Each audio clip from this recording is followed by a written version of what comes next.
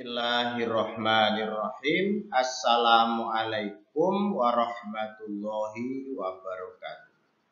Anak-anakku, pada kesempatan kali ini mari kita awali bersama-sama dengan membaca basmalah. Bismillahirrahmanirrahim. Materi kita pagi hari ini adalah cara berdakwah di Nusantara. Nah, kita tahu bahwa Islam di Nusantara ini mendamaikan. Jadi kalau hari ini ada orang atau sekelompok orang yang kemudian mendiskreditkan, memojokkan bahwa Islam itu adalah teroris, Islam itu sebagai sumber kekerasan, itu adalah ahistori, sesuatu yang tidak sesuai dengan sejarah. Jadi kehadiran Islam itu mendamaikan. Dan siapa pun orang yang menjadi muslim, pasti dia akan memberi rasa damai. Oleh karena itu, kita kembali mengingatkan kepada anak-anak bahwa tujuan kita belajar dari teori-teori masuknya Islam, cara berdakwahnya Islam, kerajaan-kerajaan Islam itu agar kita tahu betapa para ulama, tokoh-tokoh Islam menyebarkan Islam dengan harta bendanya, dengan jiwanya, agar Islam di Nusantara ini menjadi berkembang dan mendamaikan, mendamaikan Nusantara. Kita sebagai pelanjut agar selalu gigih semangat berdakwah lalu menghargai perbedaan-perbedaan. Ini luar biasa. Jadi Islam ini sudah mengajarkan sekian ratus tahun, bahkan 1500 tahun yang lalu, 1443 tahun yang lalu. Islam ini sudah menunjukkan semangat untuk berbeda. Jadi perbedaan dalam Islam itu biasa. Maka sebagai seorang muslim yang baik, kita harus bisa menghargai perbedaan keyakinan. Sebelum Islam ada di Nusantara ini, di Nusantara sudah ada animisme dan dinamisme. Oleh karenanya anak-anakku giatlah belajar terus untuk menggapai cita-cita Anda. Dan jangan lupa tetap rajin beribadah. Baiklah anak-anakku, ini ada beberapa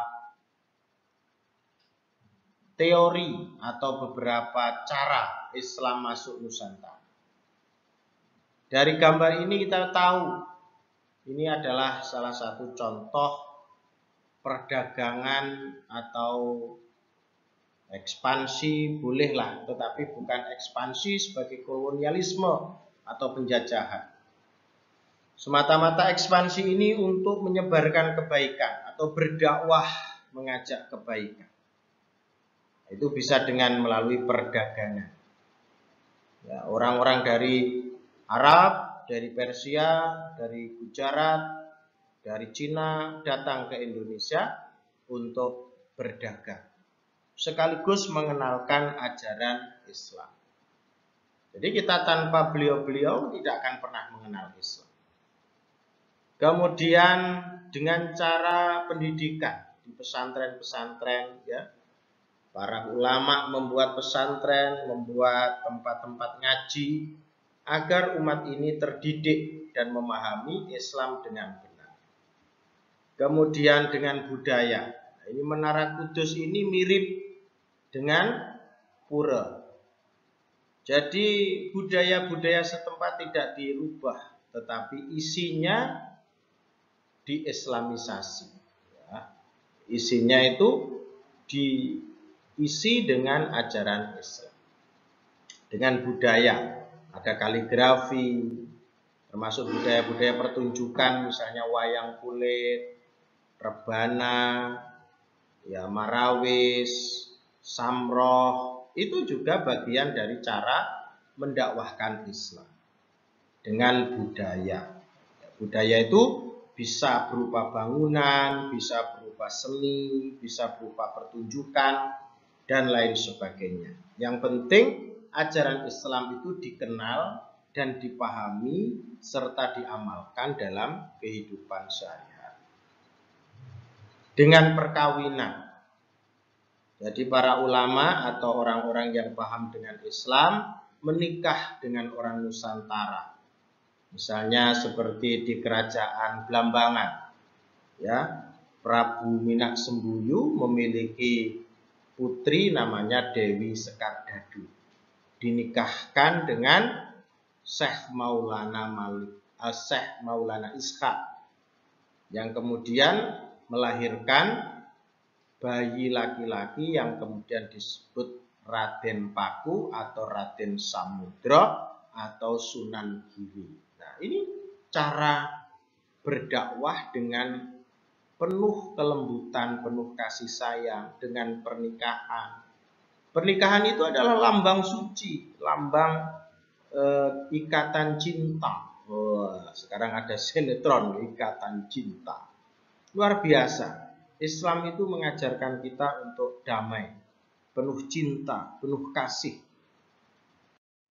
Lalu ini cara-cara berdakwah ya tadi sudah saya sampaikan dengan pendidikan seperti mendirikan pesantren, kemudian bermasyarakat, baik pertanian, perdagangan, pernikahan, kemudian kesenian, ada pagelaran, wayang kulit, ya, gamelan, kemudian kebudayaan, ada ukiran, kaligrafi, bangunan masjid dan. Oke, terakhir ini juga bagian dari cara saya untuk mengenalkan Islam. Ayo berpantun. Ya. Yeah membeli bawang di pasar lama, oke? Okay? Membeli kuaci di toko Novita. Jangan bimbang menyebarkan agama, ajaran suci dari Allah Sang Pencipta. Asik. Lalu berikutnya lari berpeluh mengejar angsa. Mau diapakan? Angsanya mau dipotong kayaknya. Lalu gadis berdendang pelajaran ulama. Mari kita jaga keutuhan bangsa dengan mengamalkan ajaran agama. Kemudian pantun berikutnya berkeringat mengejar Pak Rama, kejar-kejaran terus dari tadi. Pak Rama yang santun guru kita. Tetap semangat belajar agama karena agama tuntunan hidup kita. Demikian anak-anak, semoga bermanfaat. Terima kasih. Kita tutup dengan doa subhanakallahumma wa bihamdika asyhadu an la ilaha illa anta astaghfiruka wa atubu ilaik. Alhamdulillahirabbil alamin. Wassalamualaikum warahmatullahi wabarakatuh.